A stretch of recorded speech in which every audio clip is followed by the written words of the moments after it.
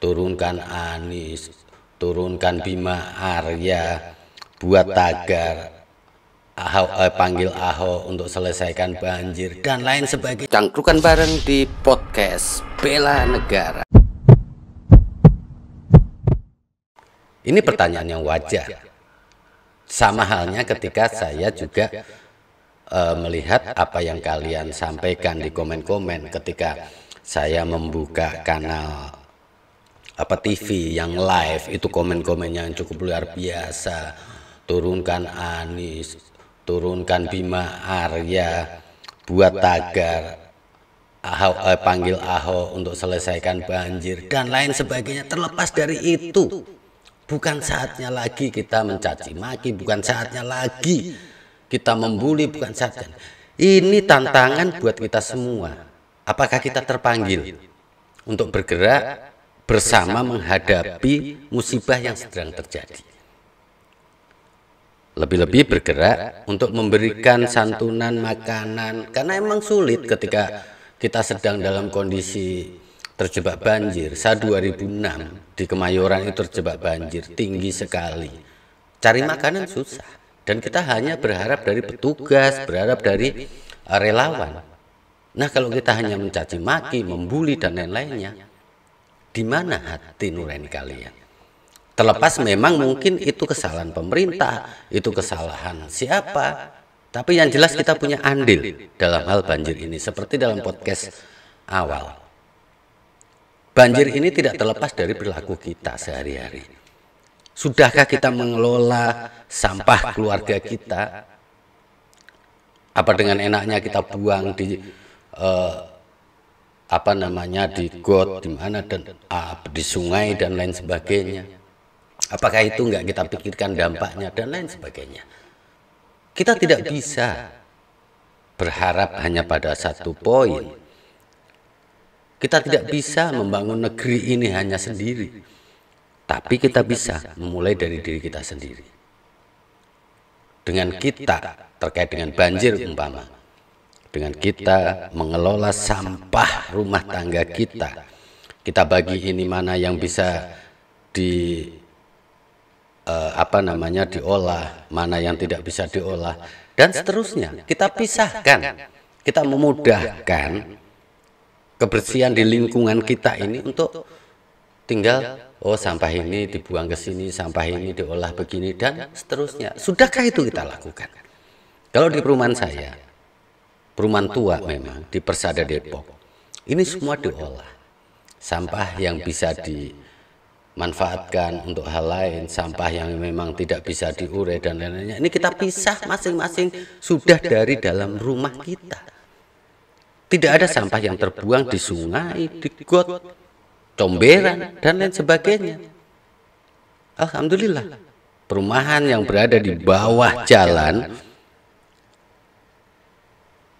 tidak mengalami kebanjiran dan kita tidak berharap itu. Kalau toh ada banjir, ini mungkin memang fasilitas sungai kita yang kecil. Tapi di perumahan saya sungainya sudah dalam, tidak begitu kecil, tapi tetap aja bisa meluap. Nah, apalagi yang got-gotnya dipenuhi dengan sampah. Jadi inilah saatnya kita membangun kepekaan rasa, kepekaan hati, bukan hanya memanjakan jari-jari kita untuk menari-nari di atas kipet, kemudian mengetik komen bla bla bla bla kadrun, kampret, cebong dan lain sebagainya. Udah nggak penting guys hari ini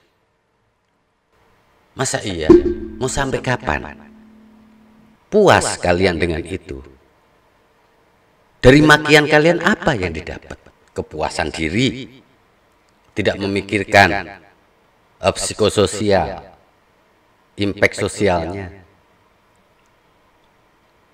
Nah, yuk kita pelajari bersama. Kita ini hidup sebagai manusia, makhluk sosial. Ini harus berinteraksi harus memiliki kepekaan rasa. Kalau kamu nggak mau dihina, jangan menghina. Jangan karena kamu nggak face to face, kamu berani menulis apa pun dan kemudian kamu posting.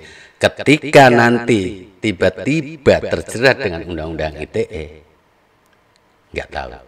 Mau menangis, minta maaf, atau lain sebagainya. Itu bukan penyelesaian. Nah, di podcast ini memang saya bicara fokus pada bela negara. Karena itu hak dan kewajiban kita sebagai warga negara. Bela negara ini apa sih?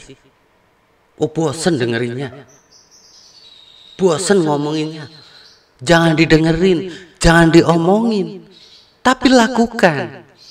Karena bela negara ini terkait dengan sikap dan perilaku kita yang dilandasi atas kecintaan kita pada tanah air. Kalau kita memaki, mencaci, membuli apa pun yang terjadi, baik itu membuli personal, membuli pemimpin dan lain-lainnya, di mana rasa cinta tanah air kalian?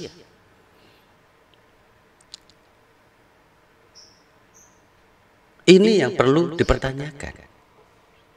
Bosan? Iya. Ketika kita bicara teoritis. Kalau kalian bosan mendengar, oh bela negara itu hak dan kewajiban yang diamanatkan oleh undang-undang dan bla bla bla, laksanakan, cari tahu. Nah, bela negara ini memang merupakan wadah, peran dan kontribusi segenap komponen bangsa. Saya, kamu, baik yang nggak suka membuli, baik yang suka membuli, yang harus diaktualisasikan baik dari dunia usaha, dunia pendidikan, media hingga tokoh pemuda, tokoh agama dan seluruh elemen bangsa pada bidang profesi masing-masing. Tapi tidak dalam profesi yang memang hanya memilih untuk mencaci dan memaki, karena itu bukan hal yang baik. Ketika memberikan kritik yang solutif, ah itu hal baik. Silahkan kasihkan. Uh, kritik yang solutif terkait umpama dengan banjir. Nah, artinya hal ini sebagai upaya agar kita mencintai bangsa ini sekaligus untuk membentengi kita agar terhindar dari berbagai macam bentuk upaya adu domba. Dan yang terpenting adalah dari upaya adu domba atau menanamkan paham radikal dan terorisme. Walaupun radikal ada arti positif. Tapi radikal di sini yang saya maksudkan adalah radikal yang tidak positif.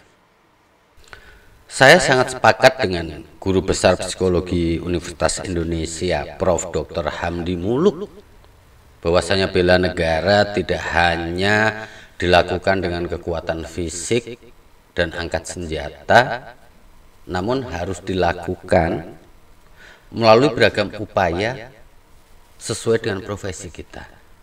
Seluruh komponen bangsa dan negara baik itu masyarakat sipil maupun militer yang saat ini tengah berjuang melakukan uh, tugasnya di seluruh penjuru pelosok tanah air sesungguhnya juga sedang melakukan upaya bela negara di pedalaman Papua dan lain-lainnya. Aparat kita sedang berjibaku untuk melawan OPM atau lainnya. Bahkan udah ada yang korban nyawa dan lain sebagainya. Apakah kita masih harus mencaci maki? Protes. Enak protes dan seterusnya. Solusinya? Nah ini yang perlu kita tajamkan dalam konteks pikiran kita ide kita untuk benar-benar dapat mengaktualisasikan bahwasanya kita ini cinta pada tanah air kita kalau kita di Jakarta, kita cinta Jakarta. Kalau kita di Depok, kita cinta Depok. Kalau kita di Bogor, kita cinta Bogor. Bagaimana membangun wilayah-wilayah ini? Nah, lebih jauh dijelaskan juga dalam kacamata uh, psikologi untuk menumbuhkan semangat patriotisme, ikhlas dan pantang menyerah dalam melakukan upaya bela negara, maka seluruh komponen bangsa sudah semestinya untuk belajar dan menghayati betul sejarah dan pembentukan bangsa Indonesia ini yang tidak mudah. Bukan hanya soal banjir, guys. Mengusir penjajah dan lain sebagainya. Nah, sungguhnya secara fisik yang namanya uh, tanah Indonesia itu awalnya memang tidak ada. Tanah Indonesia ini awalnya tidak ada kalau kita baca sejarah. Indonesia ini dulu adalah komunitas yang dibayangkan atau imaginate community. yang secara sengaja dibentuk lewat proses sosial politik yang tentu tidak mudah. Nah, Profesor Dr. Hamdi Muluk MSI menceritakan hal ini terjadi atau hal ini terlihat mulai dari sejarah berdirinya organisasi Budi Tomo. Kongres Pemuda yang melahirkan Sumpah Pemuda yang selanjutnya berproses terus menjadi Indonesia. Hal tersebut tentunya untuk mengatasi fakta-fakta sosial secara konkret yang sudah ada beratus-ratus tahun lamanya seperti masalah suku, agama, kelompok dan daerah-daerah. Lalu di mana titik kulminasinya?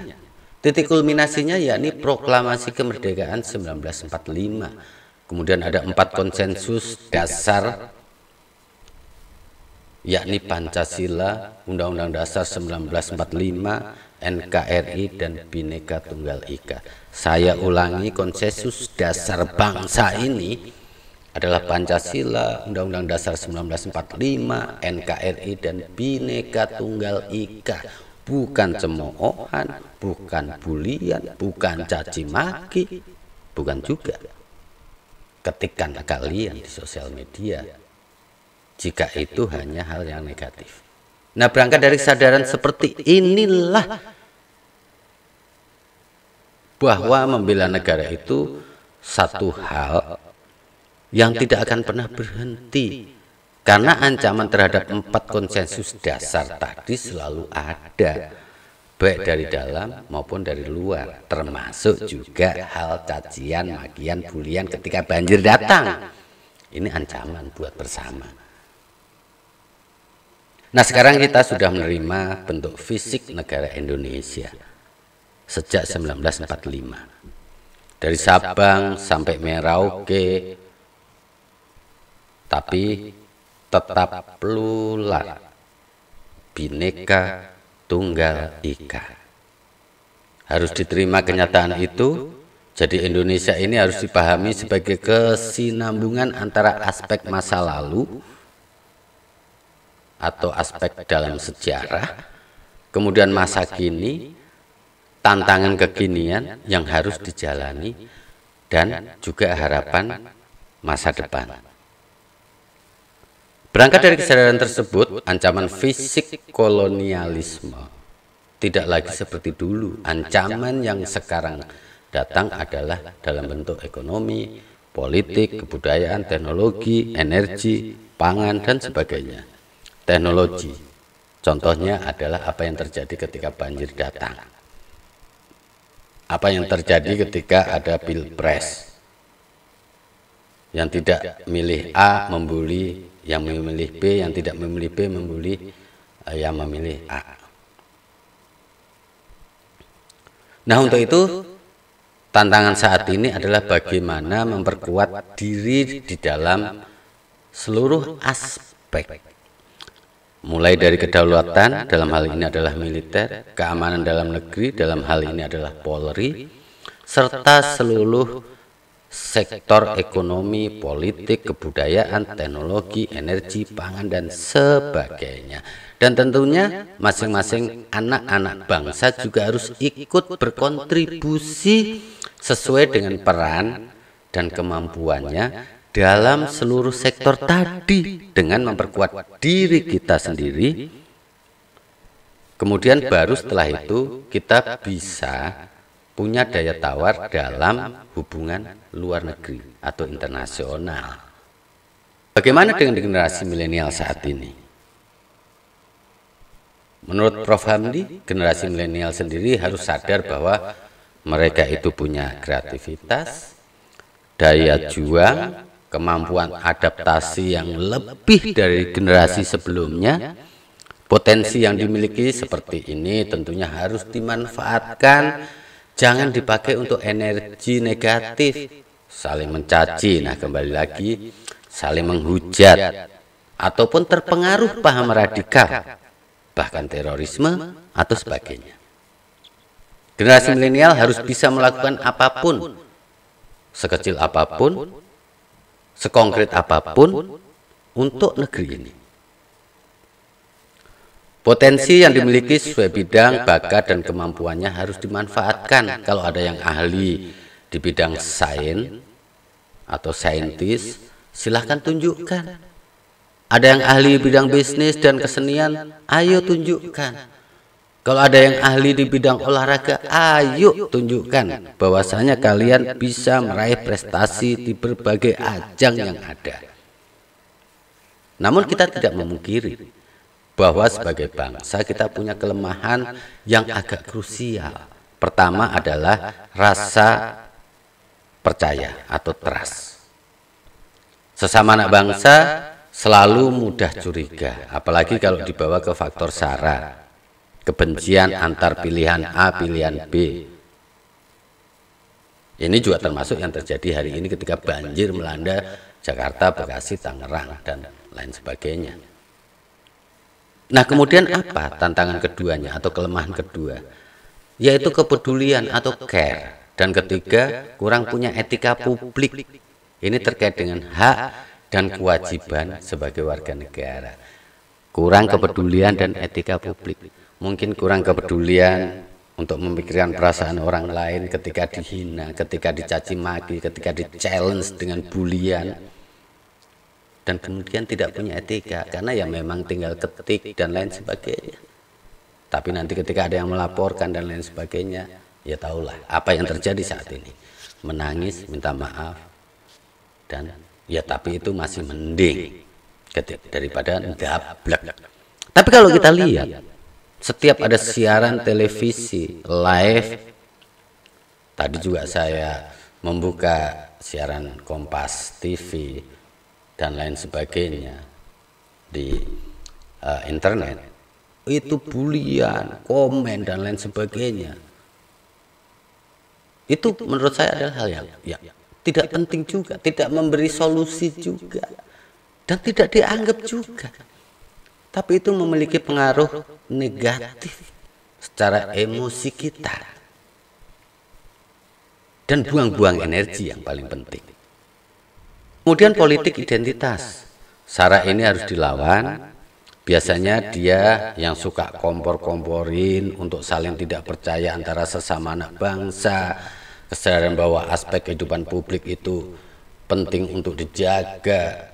Kemudian tiga kelemahan ini yang memang harus diatasi. Supaya semangat bela negara bisa diletakkan dalam tiga aspek ini.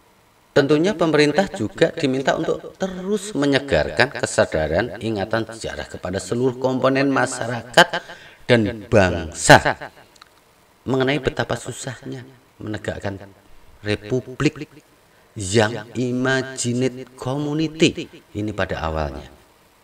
Nah, langkah baiknya jika seluruh sektor pendidikan, birokrasi, elemen-elemen sipil, eh, elemen-elemen uh, elemen-elemen civil society, pers, kampus, ormas, harus satu kata soal empat konsensus dasar bangsa ini. Kemudian pemerintah juga harus menjadi fasilitator kepada elemen-elemen masyarakat tersebut jika ada ide-ide konkret dan menumbuhkan semangat bela negara bukan hanya sekedar yang tadi cacian, bulian, makian dan lain sebagainya karena tidak suka sama persen. Nah, tak kalah penting menurut Prof. Hamdi, pemerintah tidak perlu memonopoli soal bela negara ini. Berikan saja rambu-rambunya seperti soal sejarah, empat konsensus, mana yang boleh, mana yang tidak, kemudian mengenai bentuk kegiatan, elemen uh, metode dan cara-cara bela negara serahkan saja ke elemen-elemen masyarakat yang memiliki kesadaran untuk menjalankannya. Nah, bangkitkan dan dorong kreativitas masing-masing supaya masyarakat kita ini memiliki rasa cinta terhadap bangsanya dan terbentengi dari hal-hal yang negatif. Nah, penting nih, Bill Banger cangkrukanesia, milenials, baik yang suka umpama gubernur DKI atau bukan, baik yang suka presiden atau tidak pada saat pemilu, baik yang suka atau tidak pada saat pemilihan uh, gubernur Jabar, wali kota Bogor, Depok, dan seterusnya. Ayo bergandeng tangan. Bersama kita bangkit. Dan mulai mengenali negeri tercinta ini dari berbagai aspek. Sehingga kita tidak melupakannya. Sehingga kita bisa mencintai dan kemudian ikut membangunnya. Jadi ketika ada banjir datang, kita berpikir dari berbagai sisi, apa penyebabnya, apakah kita juga termasuk penyebab. Kalau kita memang sudah disiplin, kita ingatkan sekeliling kita, dan lain sebagainya. Karena ini memang tugas kita bersama, tidak hanya tugas pemerintah. Memang tidak bisa sendirian. Namun, bisa kita mulai dari diri kita sendiri. Contohnya pada saat banjir yuk kita rem jari-jari kita, kita kurangin konten sosial media kita dengan hal-hal yang tidak penting yang menghabiskan energi, yang isinya hanya cacian, makian, bulian. Nggak penting. Tapi yuk kita isi hal-hal yang positif terkait dengan Indonesia. Jadi, ayo mulai hari ini, esok dan selamanya kita senantiasa bicara baik tentang Indonesia. Kita senantiasa banjiri sosial media kita dengan konten-konten baik tentang Indonesia. Kita senantiasa sebarkan spirit dan energi positif buat diri kita, keluarga kita, dan lingkungan kita. Dan paling penting, kita jaga lingkungan kita, kita jaga keluarga kita, kita jaga saudara-saudara kita. Satu, dari pandemi COVID-19. Dua, dari banjir yang merupakan memang ini adalah fenomena alam. Kita tidak bisa menghindari, tapi kita bisa meminimalisir resiko yang ada. Dan ini perlu partisipasi kita. Kalau kita marah, kita kesal, kita meratap, tengoklah relawan-relawan yang sedang berjibaku melawan derasnya banjir dalam kedinginan, berusaha untuk mengevakuasi warga kita, saudara-saudara kita dalam kegelapan karena listrik tidak menyala dan seterusnya. Sehingga kita bisa terhindar dari mengeluarkan cacian, makian dan sebagainya. Karena apa? Apa pun yang terjadi tidak terlepas dari diri kita. Percayalah, Ayo kita mulai dari hal kecil yang baik dari diri kita, keluarga kita, lingkungan kita. Dan ini demi masa depan kita yang lebih baik. Salam sehat untuk Anda. Tetap jaga kesehatan, tetap terapkan 5M, protokol kesehatan harus ketat. Salam sehat untuk Indonesia, salam bela negara, yuk bela Indonesia aku karena Indonesia rumah kita bersama. Assalamualaikum warahmatullahi wabarakatuh. Cangkrukan bareng di podcast Bela Negara.